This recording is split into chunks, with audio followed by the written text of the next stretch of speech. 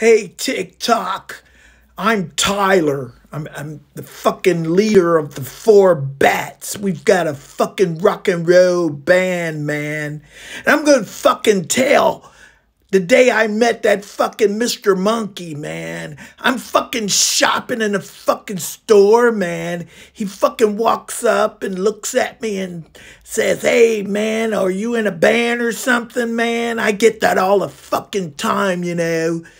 And I said, Yeah, man, I'm in a fucking band, man. I'm, you know, what the what made you ask, man? You got a cool outfit on yourself, man. What are you, some fucking kind of fucking monkey? That's fucking awesome. I love it, man. And I says, we're looking for a fucking singer, man. Can you sing, man?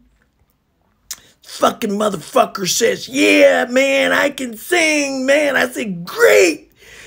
We're having rehearsal tonight, man. Hey, come on out, man. And uh, he fucking gave me his number, man.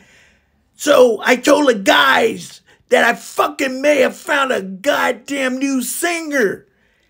And, you know, they were all excited and everything. And um, so he called me, got directions and everything. We're down here fucking jamming, you know, in the garage, my mom's garage and I hear this fucking knock at the door, and it's fucking Mr. Monkey. I say, hey, awesome, man.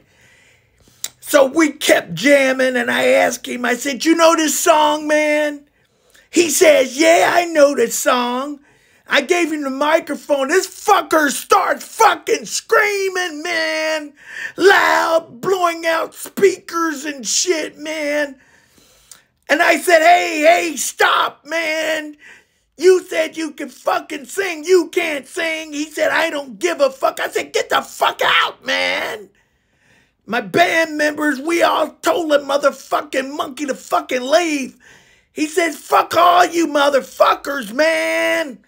Fuck Mr. Monkey. Fuck you, Mr. Monkey. You're not ever coming back to our fucking rehearsals, man.